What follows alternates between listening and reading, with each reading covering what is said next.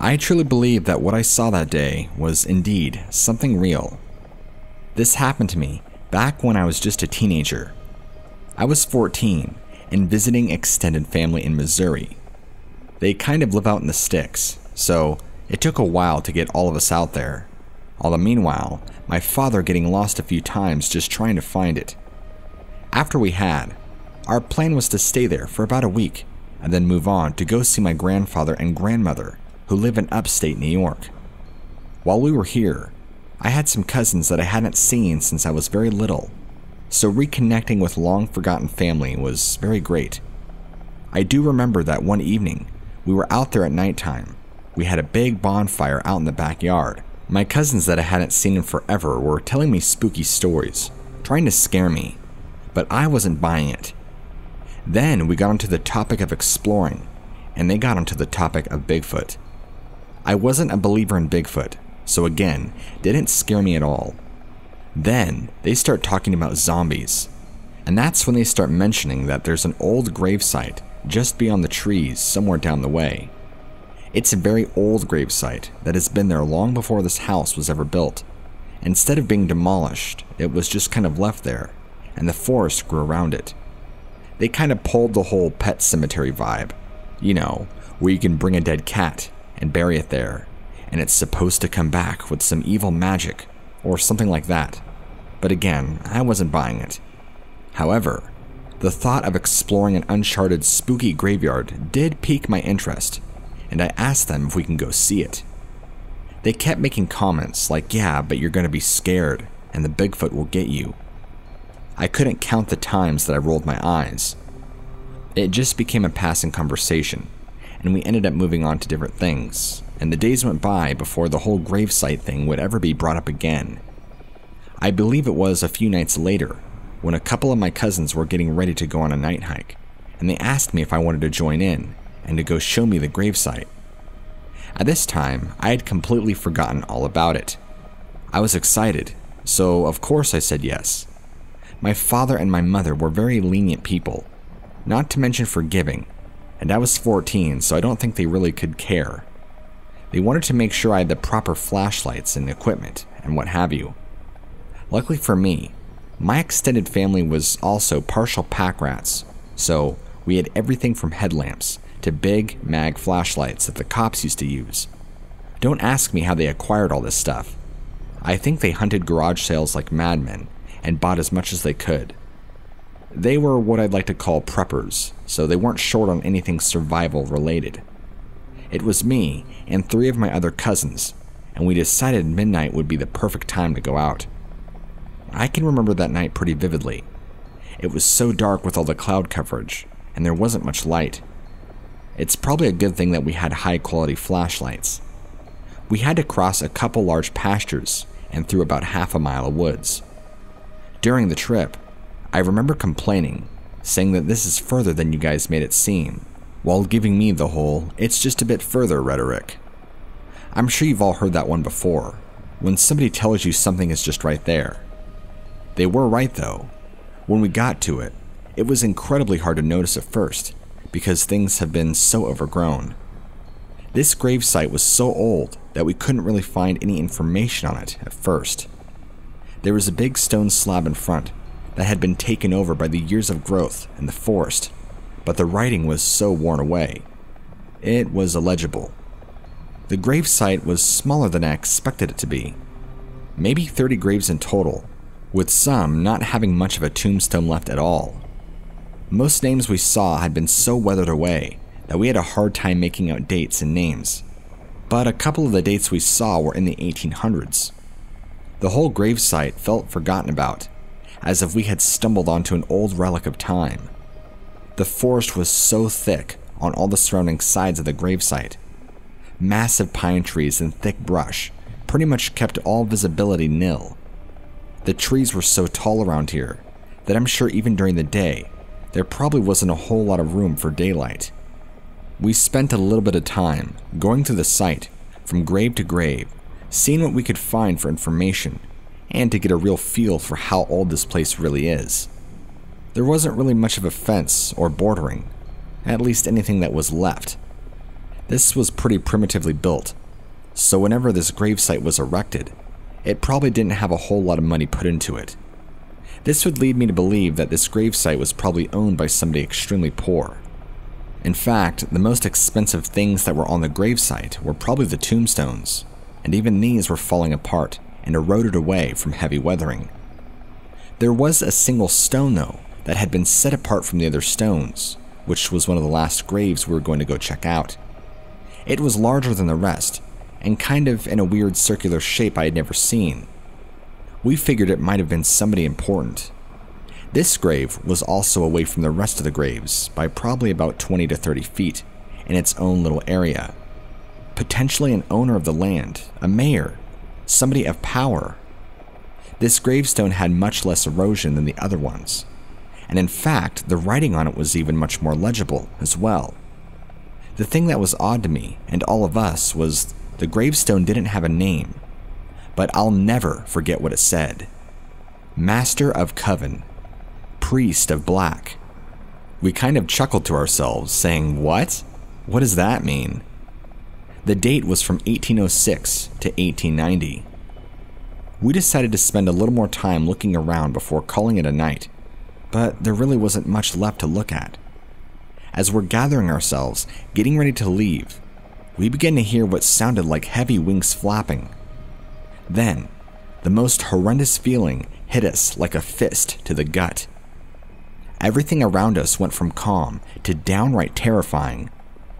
I never have gone from calm to complete and utter fear in such a short amount of time in my life. We're hearing these wings flap, and it sounded extremely close by, up in the trees. We all looked at each other, confused, because we're wondering what kind of bird that's this large is flying around at this time of night.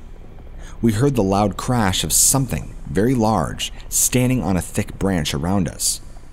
We shined our lights around to see what was there, and not even 50 feet away from us, on a branch, was this gargoyle looking creature glaring at us. When we flashed our lights, it spread its wings and gave us this vicious scream like it was there to kill us. It's important for me to really describe to you just how ugly this thing was. This thing was massive and had to have been easily the size of a lion, if not bigger. I mean, it was huge and sitting up on this top thick branch, probably 16 or more inches in diameter, if I had to guess. I mean, any thinner of a branch, and there's no way that a branch would have held the weight of whatever this was. It looked just like a gargoyle, but much more evil. It was very smoky charcoal gray in skin color, and we all can recall the faint smell of a sulfur like smell. It had piercing red eyes and millions of jagged, pointed teeth. It must have been watching us. I don't know where it came from or how it got there, but it was one of the most awful experiences I've had. It spreading its wings at us like it did and screaming at us gave me nightmares for years afterward. It was total evil. We all screamed louder than we ever have and took off running back to the house faster than any of us have ever ran before. Making it back to the house in record time, my cousins were checking behind us constantly to see if we had been followed by that thing. After making it into the house, we weren't quiet about at all what happened. We're screaming and sobbing, waking up just about every other adult in the process. My parents and family freaked the heck out. Here are a bunch of teenagers, 14 and 19, crying like babies and shaking over what we all just saw. There were four of us to attest to all seeing the same thing. Surprisingly, our parents and family actually kind of believed us, and I will say, thank the Lord for all four of us seeing it versus just one. I do believe it added so much more validity and credibility to our story. Our parents just hugged us and comforted us. We eventually calmed down, but we all slept in the living room that night, after being awake for hours and hours. I mean, you don't easily go to sleep after something horrendous like that. The next morning came and went, and we never really talked about it again. It was never brought back up on that trip, and things sort of returned to normal for the remainder of short time we were there. There was no more mentioning hikes out in the woods or anything like that. We just didn't talk about it.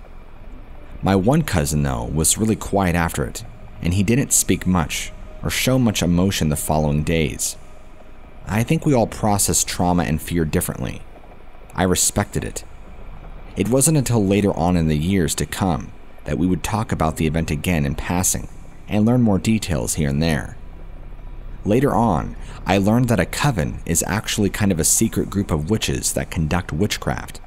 They're generally ruled by a high priestess and a high priest, or sometimes one or the other. Sometimes same sex couples as well. Whoever this person remained nameless, but they were clearly the leader of a witch's coven.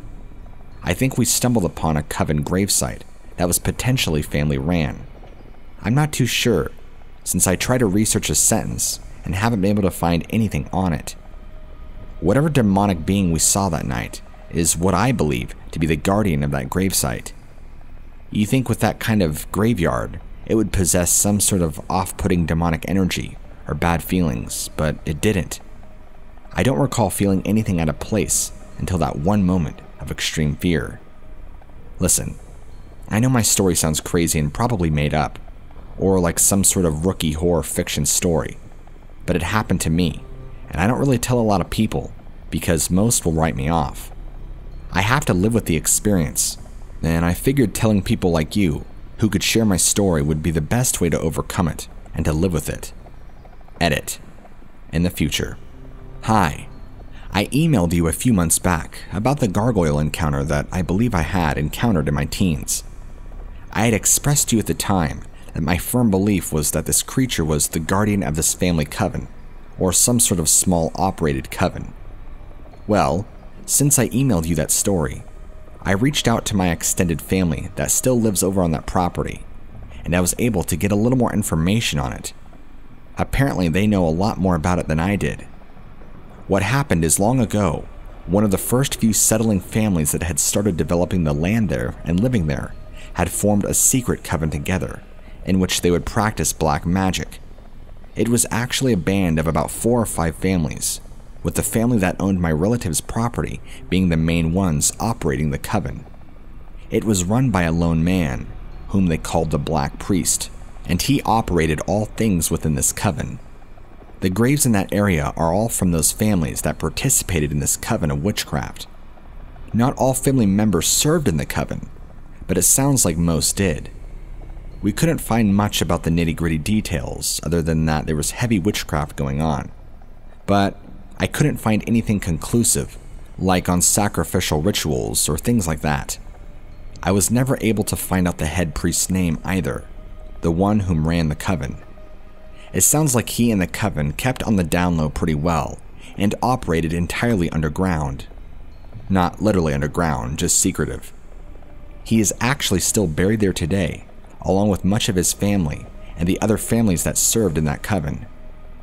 Then, I guess as the years went by after he passed, much of the coven split up and fell apart, with the remaining practicers operating in smaller covens. But he was actually one of the last ones to die and wanted to be placed at that gravesite. After he had passed, his family passed the land on to other owners who decided to leave the gravesite as is and the land just grew around it for a long time. It was kind of just left abandoned. It borders state game land now, but the gravesite itself falls into that relative's property, so it's just been left there, left to rot and be forgotten to time. After the ownership had been passed on, it had finally gotten passed on a couple of more times where my relative's house was then built and used for farming or other stuff, but that entire forest and forest area was left completely intact and untouched. I believe my relatives bought it right before the Great Depression in the 20s, and it's been there since. They've been updating the house ever since they've had it, since it's a house that's been in our generation for a long time. The grave site is not incredibly far back there, maybe half a mile, and with how much overgrowth there was, you wouldn't just be able to see it and go right to it. It could have been very easily missed if you didn't know it was there. Sorry, I'm not trying to make this email long, I just wanted you to have more information on my story.